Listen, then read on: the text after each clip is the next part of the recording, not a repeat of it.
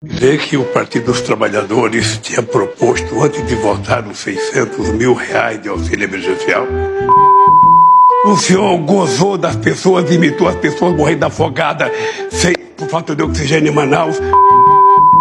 Não, a vergonha, na verdade, é você carregar nas costas a morte de 400 pessoas que... Do Fernando Henrique Cardoso estava fazendo uma ponte lá de Vida Minas com Mato Grosso. Eu nunca fez um discurso, procurei nos anais do Congresso Nacional.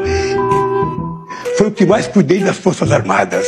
A aeronáutica não tinha avião, não tinha, a Maria não tinha navio, o Exército não tinha nem coturno.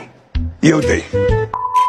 Brasileiro, todo mundo se lembra que o sucesso do orçamento secreto na prefeitura do PT esses alunos que ficaram mais analfabetos do que já era, por convidar professores, quem sabe trabalhar de domingo, quem sabe trabalhar de sábado.